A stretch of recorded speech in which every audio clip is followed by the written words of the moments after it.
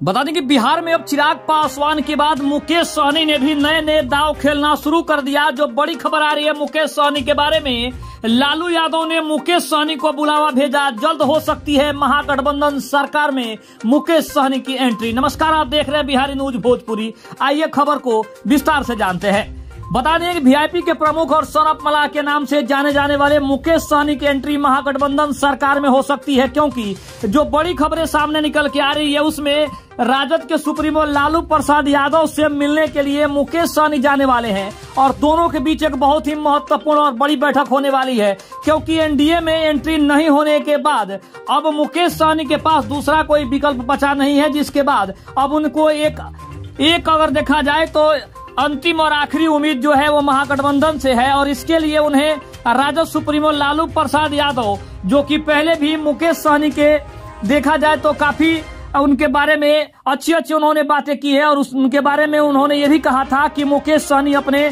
जाति के लिए अगर लड़ रहा है तो उसे लड़ना चाहिए, क्योंकि ऐसे नेता बहुत ही कम होते हैं जो अपने समाज के लिए और अपनी जातियों के लिए लड़े, जिसमें मुकेश सहनी का नाम उन्होंने प्रमुखता से लिया था। अब जो खबरें आ रही है मुकेश सहनी को लेकर, ये काफ़ी महत्वपूर्ण और बड़ी खबर है। मुकेश सहनी को लेकर कहा जा रहा है कि मुकेश सहनी की एंट्री बहुत ही जल्द महागठबंधन की सरकार में होने वाली है। लेकिन देखने वाली बात यह होगी कि क्या मुकेश सहनी वहाँ भी जाकर सीटों के बंटवारों को लेकर, सीट शेयरिंग को लेकर क्या वहाँ भी पेच फंसाएँगे? या फिर निषाद आरक्षण यात्रा जो लेकर घूम रहे हैं, क्या उसके बल पर उनको वहाँ पे एंट्री मिलने वाली है, जगह मिलने वाली है? बता दें कि 2024 के लोकसभा चुनाव से पहले ही मुकेश सहनी ने निषाद आरक्षण संकल्प यात्रा को लेकर बिहार के अलग अलग जिलों में भ्रमण कर रहे हैं। उसके साथ ही उन्होंने यूपी का भी रुख किया है वहाँ भी जो भी निषाद है, उनको समाज में एक अलग पहचान दिलाने के लिए उनकी लड़ाई चालू है, जिसके बाद अब उनको समर्थन भी काफ़ी ज़्यादा मिल रहा है। तो देखने वाली बात यह होगी कि क्या